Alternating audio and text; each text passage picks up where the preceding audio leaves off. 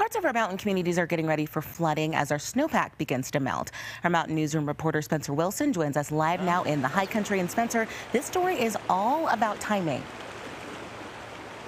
Yes, absolutely. If things go too quickly and things warm up too fast, our snowmelt all comes out at the same time. The ground absorbs less, and this gets a lot higher up than when we are looking at it right now. We've already had a couple of warm days, so municipalities around here are starting to go, ooh, maybe we should worry about this. So long as everything goes right, they should be okay, though. The Eagle River that runs alongside Minturn is one of the main features of the town, but each spring when the snow starts to melt down, residents have to keep an eye on the water.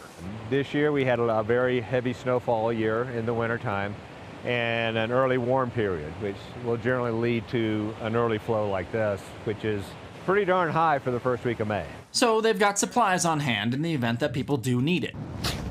You have to bring your own shovel, but the town of Minturn is providing sand as well as burlap bags for people to fill up sandbags and get ready in the event that there's some flooding. The town hasn't flooded for a couple of years, but right now the water's higher than they're used to, so they better be prepared. There's areas of the river through the valley that don't have the big land height that we have here.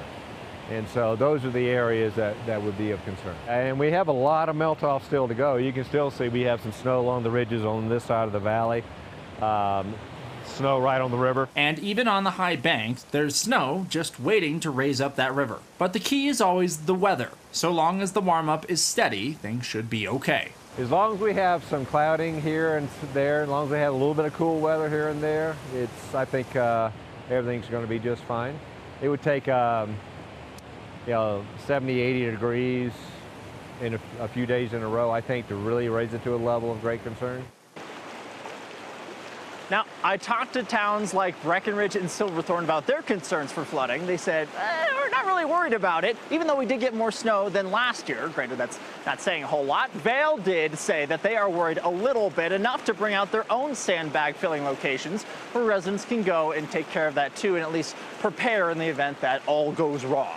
Live from the Mountain Newsroom, Spencer Wilson covering Colorado first. Spencer, thank you so much. Spencer Wilson is your neighbor in the mountains. He lives there and covers issues important to you. You can send him ideas by calling the number on your screen or through our website.